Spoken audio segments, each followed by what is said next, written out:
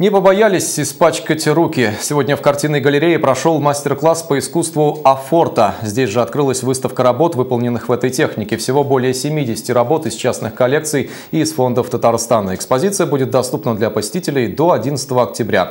Ну а в первый день ознакомиться с ней и с самим направлением изобразительного искусства пришли студенты Камского института искусства и дизайна и также ученики 25-й школы. Им подробно показали, как создаются подобные художественные произведения.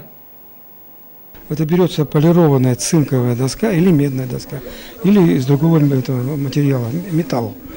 Покрывается битумным лаком доска и процарапывается там значит, или шариковой ручкой можно, да, или иголкой специальной. Его делается рисунок. Далее доска определенное время травится кислотой, после на процарапанных местах остаются выемки. Марат Мингалиев показал, как их заполняют, а конкретнее втирают туда специальную типографскую краску разных цветов. Ну а дальше в ход идет специальный станок, туда помещается уже подготовленная металлическая доска, а сверху вымоченный плотный лист. В итоге получается зеркальный оттиск. И вот здесь должен быть у нас получиться оттиск чертика. Вот.